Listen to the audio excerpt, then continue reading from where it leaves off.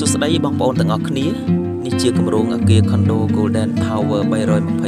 322ដែលមានទីតាំងស្ថិតនៅលើផ្លូវ322ក្បែរនឹងអគារ Cheese Tower ហើយសម្រាប់អគារនេះគឺមានកម្ពស់42ជាន់និងសាងសង់បញ្ចប់នៅចុងឆ្នាំ2023ខាងមុខនេះដូច្នេះសូមរីករាយទស្សនាទស្សនវិជ្ជានៃការសាងសង់គម្រោងអគារ Condo នេះទាំងអស់គ្នា